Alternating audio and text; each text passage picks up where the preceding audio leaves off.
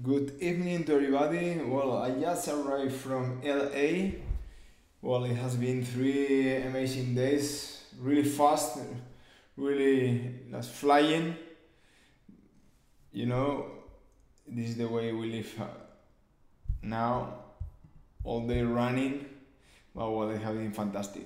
Well, now I'm I'm I'm working with some cases that I'm planning with Spark that as you know now these are my preferred uh, aligners for many reasons that I will tell you in the future.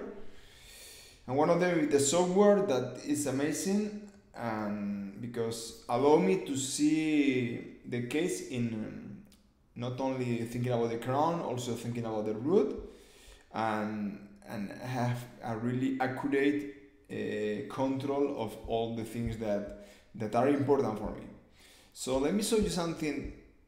For example, look at here. Look at the lower arch. As you can see here, look at the severe rotation that I have in the 35 and the 45. Okay? Well, I have done four modification in this case already. And something that I'm going to in, to modify also. Look at the moment uh, in the in the 35 what is not bad because what they are doing they are expanding also the 6 to get the space for the 5 but I'm going to tell them to add also in palatal of the 35 also an vertical attachment distal bevel okay? And it will help me okay to start the rotating. Then I will bond another one in the buccal surface okay? So I'm going to do that from the beginning okay so something that also I'm going to modify, let me show you this, okay, is the way I'm going to do the IPR, okay? As you can see here, they are proclining, okay?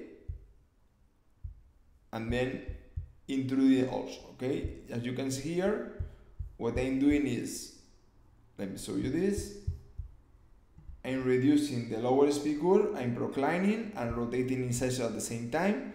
I'm intruding, then I will do the IPR and then I retrude to leave the lower incisors to 90 degrees. Okay, this is the final.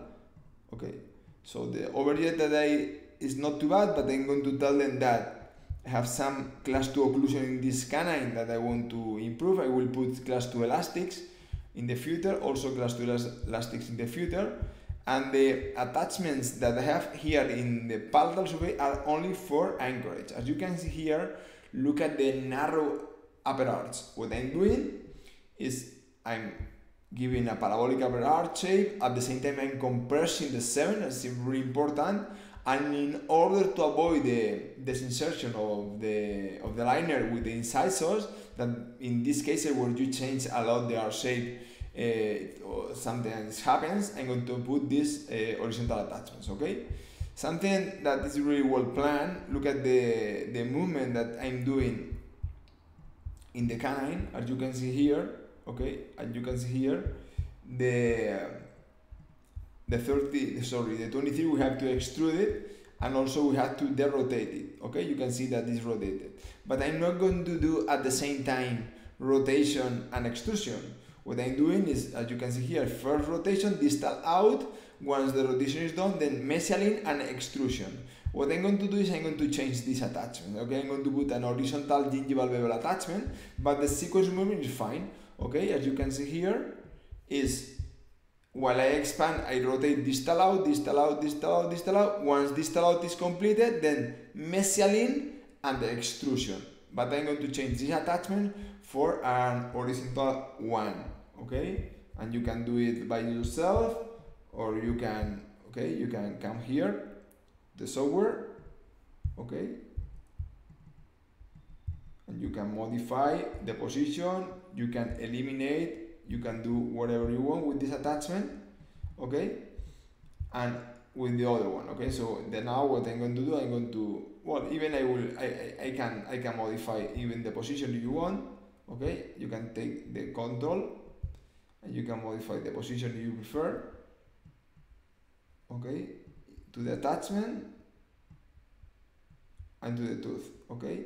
So you have the control of everything.